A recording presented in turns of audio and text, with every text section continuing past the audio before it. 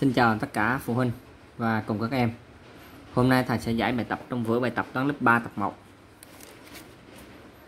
Bài học hôm nay là bài 18 Luyện tập, trang 25 Bài số 1 tính nhẩm. 6 nhân cho 2 là 12 Đây là cái bảng cửu chương, thì chúng ta cố gắng chúng ta thục 6 nhân 4 là 24 6 nhân 6 là 36 6 nhân 3 là 18 6 nhân 5 là 30 6 nhân 7 là 42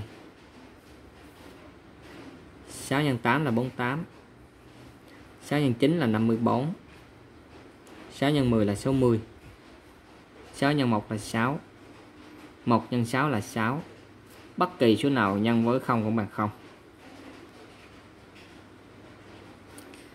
6 x 5 là 30 5 x 6 cũng là 30 6 x 4 là 24 4 x 6 cũng là 24 3 x 6 là 18 6 x 3 cũng là 18 2 x 6 là 12 6 x 2 cũng là 12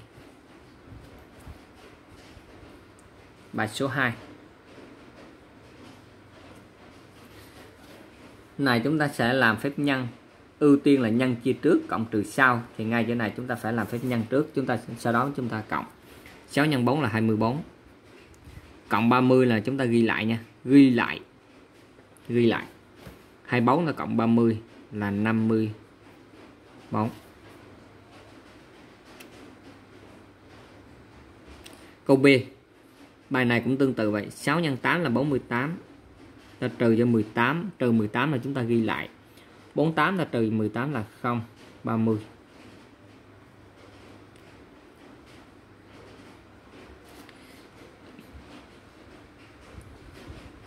Bài C 6 x 7 là 42 42 là cộng 22 22 này chúng ta ghi lại, được không? Như vậy là 64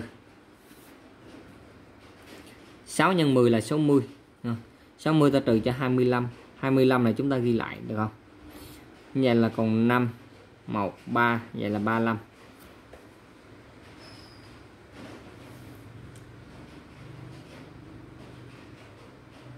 bài số 3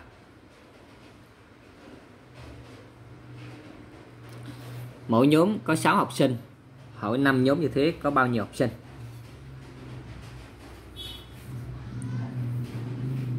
Số học sinh 5 nhóm có là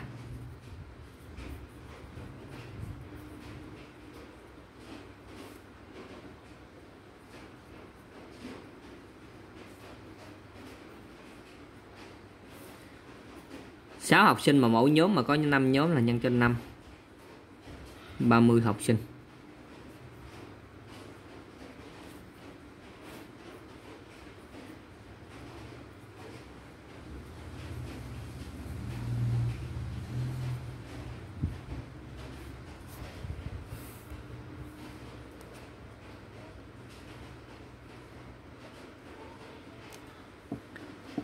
Bài số 4 viết tiếp số thích hợp vào chỗ chấm.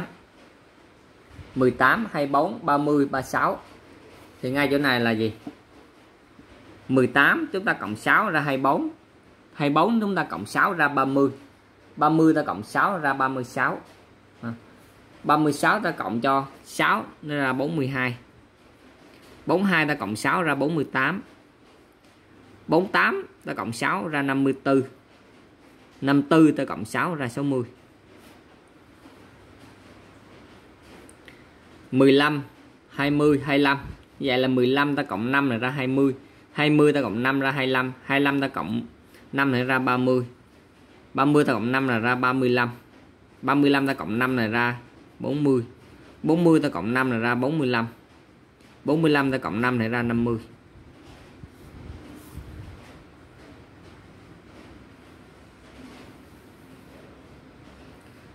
Bài số 5 nấu các điểm để được hình có 6 cạnh. Bây giờ cái à, điểm này chúng ta đã có sẵn rồi để chúng ta nối lại thôi. Đây, chúng ta nối nối cái viền này nè nha, chứ đừng có nối nối chéo ngược chơi xuôi nhé.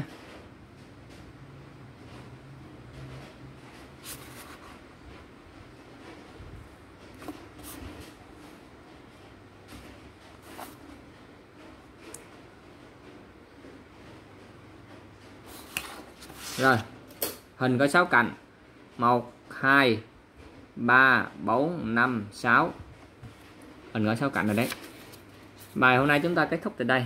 Các em nhớ đăng ký kênh của thầy để nhận được những bài học mới tiếp theo nhé. Xin chào các em.